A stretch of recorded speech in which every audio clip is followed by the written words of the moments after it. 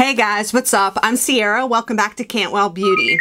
If this is your first time visiting, I just want to say thank you. If this is a returning visit, I want to say thank you as well. My subscriber count seems to be going up pretty steadily for me. Um, I know I still have under 100 subscribers, but I still love churning out videos. I still love showing you guys my collection. So let's dive into today's video. It is the highlighter collection. So I do have some highlighter palettes, I have some single highlighters, and I'm just gonna go through each one and show you what I have. I'm gonna start with the highlighter that started it all for me. That is the Too Faced Candlelight Glow highlighter, and it's a two-panned uh, highlighter that looks like that. And I love this thing. I used it all the time. I know it's expired, but I don't care. I'm keeping it for sentimental reasons. Um, I bought this and it occurred to me when I bought it, I'm like, oh, I can spend my money on high-end things because it's my money and I can do what I want. I think this highlighter was like $30 or something, but when I bought it, I was in love um, and I just can't say enough good things about it. It's got a pink, like I showed you, and a white in there. And if you mix them up together, they show a really nice like champagne color. So I really enjoy this. I'm pretty sure it's still available. If it's not, I apologize, but this is the highlighter that started it all for me. Now I'm going to go into my palettes. I have more singles, but I just wanted to show you the first highlighter that started it all. And now I'm going to go into my palettes. So um, this one actually showed up in my blush collection video that I posted a little while ago, but I wanted to show it to you because it also has highlighters in it. And yes, it will show up in my bronzers video. But anyway, there's two highlighters in here um, that are very pretty. Um, they're lighter um, than I would say an Ofra highlight or something like that, but still very pretty. I have the Fiona Stiles multi-dimensional color palette. Now this one has blushes and highlighters in it. So it looks like that. Um, this is a discontinued brand, so I won't talk too much about it, but the formulas were so good. I'm very disappointed that the brand is no longer. I've got this Cover FX Perfector Face Palette. Um, this one actually also showed up in my blush video because it has a blush in it. But um, there's highlighters in here that I haven't really used. I think I said in the blush video that I haven't really used this, this palette and I really haven't. So I'm definitely holding on to it because I want to use it. So I've got the Becca Chrissy Teigen palette and this one has beautiful highlights. Anytime I do a pink eye look, I use these highlighters. One's called Beach Nectar and one's called Rose Gold and they are so pretty. If you have this palette, you know what I'm talking about. I believe it was limited edition, so it's no longer available, but beautiful formula. Becca's, I mean, Becca is top of the line when it comes to highlighters. So I've got the original Nicole Guerriero palette with Anastasia Beverly Hills. It's their glow kit. Now this one is expired for sure, but I keep it because they reinstated it, but I'm not going to spend $40 again to buy it when these work perfectly fine. Forever Lit is the perfect inner corner highlight. I didn't use it today. I used something else um, that I'll talk about in a bit, but every shade in here is good. Every shade. The formula is to die for. Very, very pigmented. So if you're looking for a BAM highlight, I would definitely recommend Anastasia Beverly Hills and Nicole Guerriero Glow Kit for sure. Another formula I became a quick fan of was the Jaclyn Hill um, Jaclyn Cosmetics line. Um, I got the Flash palette and it looks like this. Try not to blind you. The packaging here is very, very bright. So anyway, every color in there, again, is beautiful. Today I used Iced on my cheek and then in my inner corner and then under my brow bone I used the shade Gleam. So I used two colors from the Flash palette today. Speaking of Jaclyn Hill, I have the original Becca and Jaclyn Hill collaboration palette. And this one showed up in my blush palette collection video as well because it has blushes and a bronzer, but it also has a highlighter, which I hit major pan on, and then another highlighter. So it's got Champagne Pop and Prosecco Pop are the two highlighters in there. Again, Becca has a phenomenal highlighter formula and I love it. So I'm holding on to this palette forever. A palette I got from Morphe a long time ago was the, I believe it's Desi Danger palette. And it looks like this. I didn't use this as much because I didn't think the highlighters were that pigmented. But um, yeah, it was, it was cute. I definitely used it a few times. I can see that I used a bunch of shades, but um, I didn't use it as much as I thought I would. But anyway, it was still a, a, decent palette. I have another Anastasia Glow Kit. It's That Glow, and it's got four colors in there. And it looks like this. Another palette I thought I would use a lot more than I did. I know I use the color Sunburst, this yellow color, quite a bit. However, I think I should use it a lot more than I do. Um, it's now expired because I've had it past the 12 month expiration, but I still hold on to it because I can use it. I've got the Jeffree Star um, 24 Karat Skin Frost Pro palette, and it looks like that. It's got six colors in there. A lot of them are deeper, so um, I would use them as eyeshadows. Um, I did tend to use Sarcophagus and King Tut. However, colors like Liberace and Dark Horse um, here are a lot darker, so I probably wouldn't use those as highlighters, but it's still a beautiful palette. I've got a palette from Naked Cosmetics, and this is just called their Holographic Highlighter Collection. This one I think I got in a BoxyCharm. I really don't remember ever using this because the colors are quite colorful and bright. Um, they're like, I don't know, a peach, a purple, a pink, a green, a blue, and a yellow. And I just don't find really a need for that. Maybe I'll declutter this one um, because I don't even see that I've swatched this. So I'm probably not going to hold on to that one. We've got Pure Sculptor Highlight and Contour Palette. In here, it has two like bronzer or contour shades, and then over here, it's got highlighter shades. I haven't used this yet either, so I'm probably going to donate this one. I don't see that I swatched them, so um, it's cute, but I, I just haven't used it. I think I got that in a BoxyCharm as well. A palette that I really enjoy is by Profusion. It's just their simple highlight palette.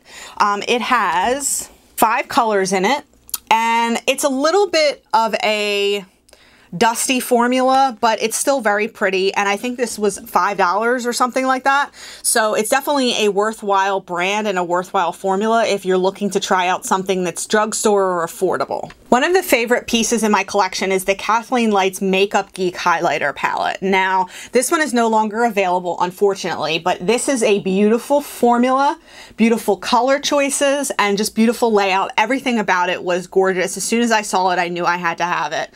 Um, it's three colors here, and they're really designed for different skin shades, like light, medium, dark. So Kathleen really thought about everybody when she designed this palette, and I just love it. So um, I'm definitely holding on to this one. I think it's cute when Ulta Beauty releases little palettes like this. Um, I don't even know when I got this. I think it came with like a free gift or something, but it's got like a highlighter in the center and then it's got like a bronzer and some sort of translucent powder here, but um, it's just cute and I like it, so I keep it as part of my collection. I've got the Bare Minerals Translucent Powder Duo, and one of them in here, so it's a matte powder followed by a glow powder. I don't know if it really counts as a highlight, but I keep it with my highlights because it does glow your face up a little bit. So if you're looking for a little bit of a glow up, um, I would go for this powder here by Bare Minerals. I've got the Too Faced Sweet Peach Glow palette, and I love this palette. It smells really good. The highlighter works okay. Um, it doesn't really show like a huge shine, I wouldn't say, but um, it's still very pretty. Um, it does have a bronzer and a blush in here too, but the highlighter is what we're talking about today. So um, yeah, as far as pigment goes, I would say it's like a mid-tone to like a lighter, lighter highlighter. I've got two by Jessica Liebeskind. I've got one that's called the Illuminating Face Highlighter in Rose Gold. Now this one showed up in my blush collection video because I think it's more of a blush or blush topper just because of how pink it is. Can you see that? Yeah. So it's more of a blush to me, but um, if you have deeper skin tone, obviously you can use it as a highlighter. Then this one is called Rose Quartz and Chocolate Diamond. Try to open that. Um, so we've got rose quartz here and then chocolate diamond over here. Um, I have used it quite a bit. I do think it's very pigmented. Um, the formula is nice. I got them both in BoxyCharms because it's a brand that I definitely had never heard of. But like I said, um, good formula. Back to Makeup Geek. I've got one here. It's called Psychedelic. It's a duochrome highlighter. You can kind of see the duochrome. I'm hoping it picks up on camera. It's like a white and then it has like greenish orange highlights to it. I don't know. Um, it's really cute. The name is cute. The formula is really pigmented, so do a light hand with these Makeup Geek highlighters. I've got one from the Primark brand. It's called PS, and this is called Bashful. And I used this in my Primark video when I did a try on, and I liked it. Um, I think it's very dusty, and I remember it uh, I don't know if it showed up or not that well, um, but it is very pink, so it's not something that I would wear on the regular, but um, it's still cute. I've got a Kylie Jenner Kylighter or whatever they're called um, by Salted. It's called Salted Caramel. And I really enjoy the highlighters and blushes from her line. Um, this is quite old. Um, I'm pretty, pretty sure it's expired. Yeah, 12 months, but I hold on to it because I really like the formula and it still works for me. I've got the My Little Pony ColourPop um, pressed powder face highlighter and it looks like that. Not something I wear on the regular, but I really enjoyed that collection. So, and the packaging is too cute. Um, it looks like that. It's got the ponies on the front and it's just cute and I love it. So I hold on to it for that reason. I've got the Pretty Vulgar Swim Shimmering Swan in 126 Glow Up, and it looks like that. I believe I got this in a boxy charm, and it's cute. Uh, not something that I really use on the regular, but it is very pretty. It's like a champagne shade. I had to check it because I honestly didn't remember, but um, something that I put in rotation, so I do use it once in a while, just not all the time. I have the ever popular Mary-Lou Manizer by The Balm, and it, of course, the old, good old packaging looks like that. And then the inside, this was the highlighter forever um, before like Becca came out and before, I mean, I think they were still around like when MAC had come out with highlighters and stuff like that, but Mary-Lou Manizer was very, very popular back in the day. So I had to, of course, add that to my collection. Um, for those of you wondering, where are your Ofra highlighters? Um, so I only have two. I have Rodeo Drive and I have Everglow, which was the collaboration with um, Nikkie Tutorials. And that's what Everglow looks like. And it's got the three shades there or you can mix them for like a really beautiful highlight. And then Rodeo Drive is like the highlighter. If you're looking for a BAM highlight to just brighten up your life, I would say go for Rodeo Drive by Ofra you won't regret it. Then I have a MAC highlighter from a holiday collection. It's called Happy Go Dazzlingly, and it's a very light highlighter. I wouldn't say it packs much punch, um, but it's still very, very pretty. If you're looking for like a lighter look, I would say the MAC highlights, um, like for the holiday collections, are kind of something to to move towards. Then I have a Laura Geller highlighter. It is called Diamond Dust. It's a Baked Gelato Swirl Illuminator. Now this one feels like it's coming out of the packaging and it is. So I'm not gonna like try to lift it too much, but um, it's like almost like a duochrome. It's got like rainbow colors going through it, but the main color is, the base is like a white. I of course have Fenty Beauty Trophy Wife. Now I don't use this one as a highlighter. Um, I use it mostly, I can't even get it open. I use it mostly as a, an eyeshadow, but um, so it's an expensive eyeshadow, but it's called Trophy White, it, Trophy Wife, and it's the Killawatt Freestyle Highlighter. This is the highlighter everyone had to have when it came out. So just beautiful. I love it. I also have the Anastasia Beverly Hills Amrezy highlighter, probably one of my favorites in my collection because the color is beautiful, the formula is beautiful, the punch it packs is beautiful. It just is is the perfect highlight. I've got a loose highlighter from Cougar, which I've really never even heard of, but it's called Diamond Kiss and it's got a 30 month expiration date on it. So I haven't used this. I believe it came in a BoxyCharm. So I will use it in the future. It's just not something that I've really ever ever used. So I don't use loose highlighters that often. Having said that, I will show you three loose highlighters. um, so these are from Artist Couture. I have the shade Illuminati. I have Summer Haze. And I have the collaboration with Jackie Aina called La Peach. So I enjoy probably La Peach the most because of its peach nature. And I just like Jackie Aina. I think she's very enjoyable. So Next, I'll show you my Becca highlighters. I have four of those. I have the one that was the Splits one with Jaclyn Hill, and it's got a blush in there and a highlighter. This highlighter is Prosecco Pop. Then I have um, Champagne Pop, which was the anniversary one. It's got like a champagne bottle in there, like pressed in the pattern of the highlighter, which is super cute. Then I have another Champagne Pop because you can never have too many. Oh, right, this one broke. So that one's completely broken and I pressed it back in and kept it because it's champagne pop. Let's get real. And then I also have another Prosecco pop. So that's what that one looks like. Prosecco pop is like lighter and not as champagne as champagne pop. Then I also have this ColourPop duo that I can't remember the name of, but it's got a highlighter in here and a blush and it's really cute. I like it. The highlighters from ColourPop are really cute. I actually really like their formula. Then I have four Jeffree Star highlighters. Um, I have Crystal Ball, which is the whitest shade on planet Earth. Um, if you've never tried Jeffree Star, um, they are the most pigmented highlighters I've ever used. Um, we have Eclipse, which was the collaboration with um, Manny MUA back when they were pals. Then I have Peach Goddess, which is one of my favorite highlighters because of its peach nature. I just think it's really, really beautiful. And then I have um, Summer Snow Cone, which is a very weird yellow shade, but I had to have it when I saw it, so very beautiful.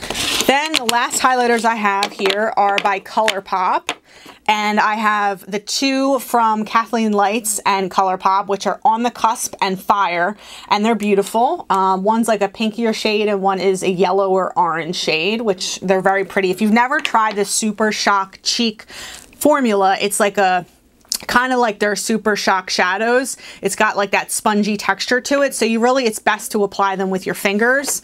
Um, so I also have Flexitarian which is probably their most popular one I'm guessing. It's very very bright it's a great inner corner highlight, which is what I use it for. You can see I've dipped my brush in there for inner corner highlights, but mostly I use it with my hands to apply it to my cheeks. And then I have, oh, I have another Flexitarian because I think it was getting old, so I held on to it for some reason. I'm not really sure why. Um, I should probably get rid of that. But anyway, so I have two Flexitarians. And then I have another one called Parasol, which is a little bit pinker than Flexitarian. It's a little bit deeper. That's it, guys. That's my entire highlighter collection. I hope you enjoyed this short but sweet video. If you did like the video, do me a favor, subscribe, like this video, leave me a comment, let me know what was your favorite highlighter. Maybe if you want to see my bronzer collection or you've seen my blush collection and you're interested in some more of my makeup collection videos, I don't know. Just leave me a comment, let me know um, how I'm doing. Um, and don't forget, tell a friend, and I am Ciara. Thanks so much. Bye-bye.